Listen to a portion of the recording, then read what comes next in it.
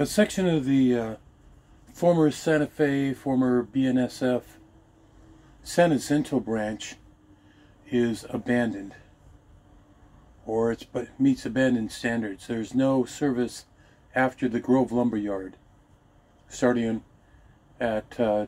The tracks are out of service, they're cut up, they're chopped up here and there. This is a CLIC book that covers the San Jacinto branch from Highgrove all the way down to the end, the terminus in San Jacinto. Since it's an abandoned railroad, I'm just going to cover the section that's abandoned. This is what the cover the CLIC book looks like. Here's a list of businesses by track number. James Lumber is the end of the line currently, and the company there now is Grove Lumber. Ethanac Team Track, the others non existent. Here is the map. Doing this on ice chest for simplicity, it's only a couple pages. So currently shows the branch going down the train museum. That's not abandoned, that's not abandoned. The abandonment starts basically at this line here.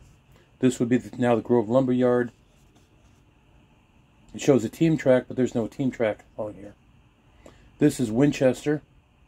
Winchester used to have uh, three tracks going through town. On this map, there's two. Turn the page. These are businesses you would have continuing from Winchester going east and ending in San Jacinto. So it shows vacant track, Albert's Feed, that used to be, and Farm Supply. Used to get uh, all kinds of cars for cattle feed and chicken feed. Shows one leg of the San Jacinto Y. San Jacinto Team Track, Agri-Empire. That was a potato shipping location. And here we come to coming in. Here shows the tracks. There's Egan, there's Hemet, and then San Jacinto. In San Jacinto, there used to be a Y. Currently, some of these tracks still exist. In fact, most of these tracks exist. They've just been cut up here and there. The Y is only one leg, but if you walk this field that it's in, you can find ties in the ground. They're just not connected. This switch still exists.